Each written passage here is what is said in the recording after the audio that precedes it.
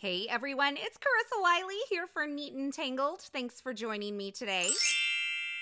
Today I'm going to show you how I'm going to take one background and make two cards. I'm keeping these cards really simple so that the focus remains on that colorful 80s inspired background.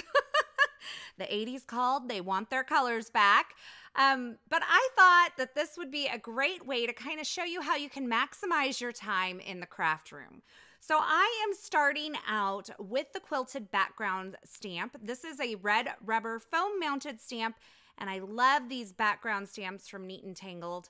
I'm inking it up in some Copic friendly black ink and stamping it onto not only my hands, but also some Neenah Solar White heavyweight cardstock. And once I have my cardstock placed onto the background stamp, I'm going to cover that with a piece of scrap paper and I'm going to keep one hand in place as I kind of rub all over the back of that um, cardstock that's placed onto the stamp to transfer all of that ink onto my background here.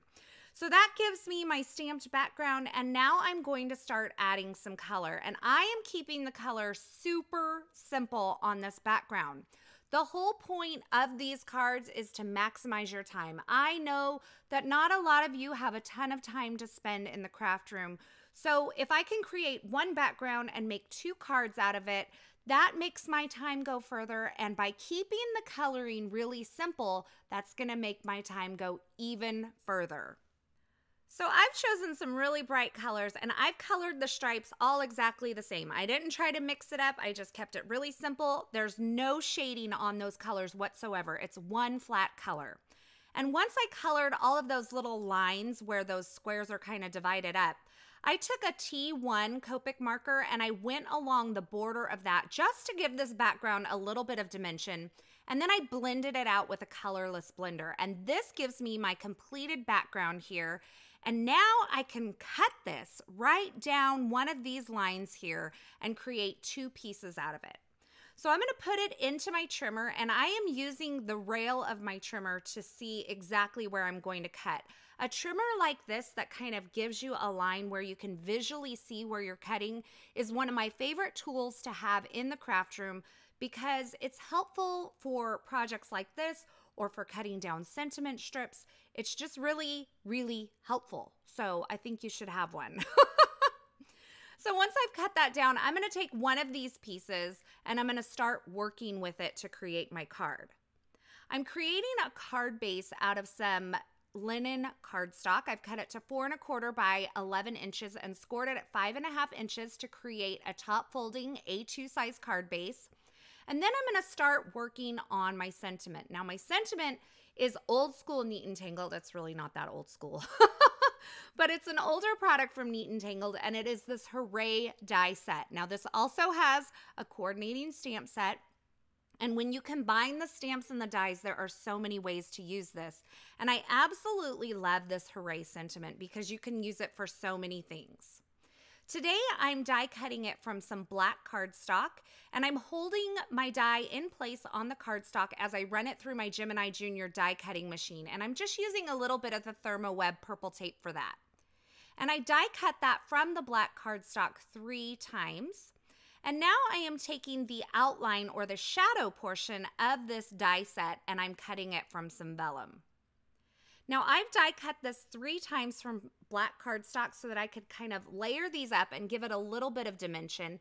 And in order to do that, I'm gonna use some liquid glue along the back of these die cuts. So once I've put some dots of liquid glue all over the back of this, I'm gonna line it up with another layer of this and kind of make sure that they're all pressed together where they're lined up.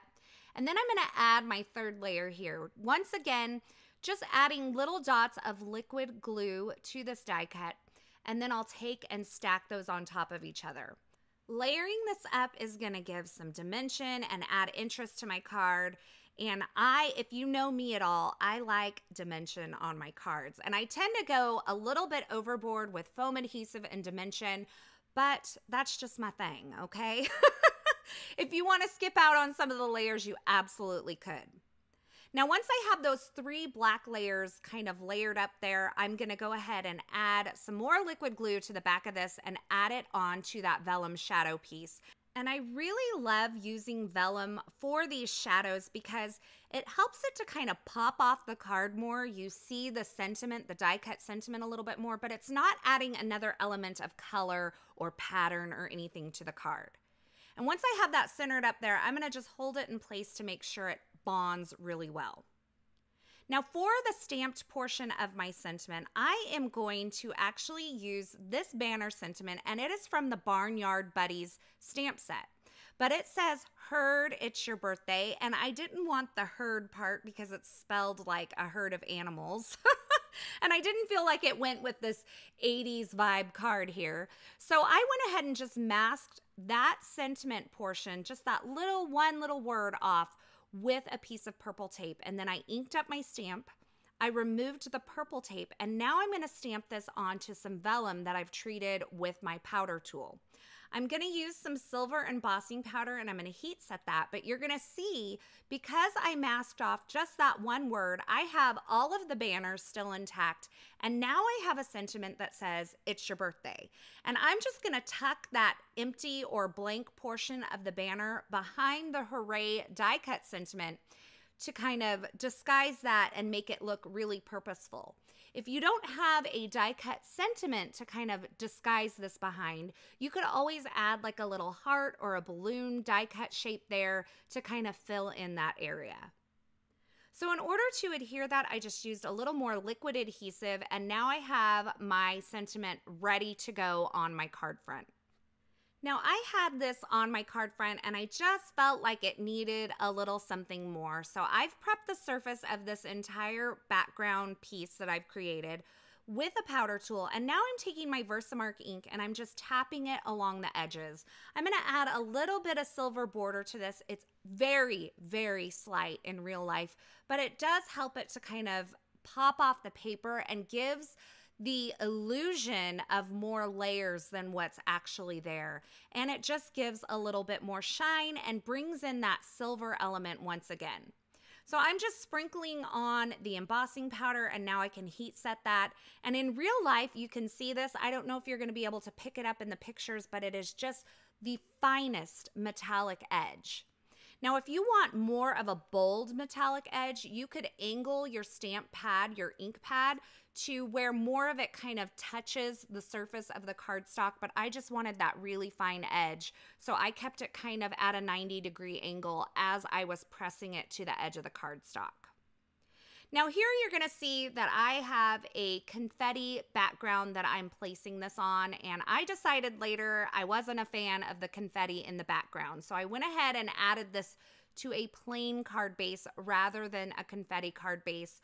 But I kept the rest of the elements the same. I added a little strip of black cardstock along the top of this pattern paper just to give it a finished look. And then I will add my entire die cut and stamped sentiment on using some foam adhesive to give a little more dimension. And I finished my card off by embellishing with just a few enamel hearts that tie in with all of those colors.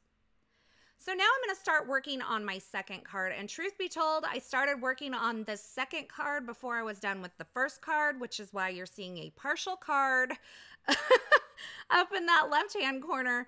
But it kind of, the inspiration for the second card hit me when I was in the middle of the first card. So I had to go with it. So once again, I trimmed down that other piece that I had created and I just trimmed it into a strip and I used the lines that are already on the background stamp to guide me as I cut that down. And I adhered it to a piece of linen cardstock. Now I'm going to take this stamp here and it is from the Thanks So Much, I believe is what it's called. I'll have it linked below stamp set and it is kind of designed to go along with the gift box that Neat and Tangled released at the end of last year. It is a really beautiful Art Deco inspired stamp set, and I am stamping it onto some vellum and then adding some silver embossing powder once again. And I'm just gonna heat set that. And I'm gonna keep everything on this card almost identical to the first card. So I'm not reinventing the wheel. I did uh, kind of change up the position of my pattern here on this card front but I'm using a lot of the same elements from the first card. That saves me time because I already have the stuff out. And it also keeps me from having to feel like I have to come up with a whole new design idea here. I'm just kind of taking elements from the first card and reimagining them just a tad bit to make this card a little bit different.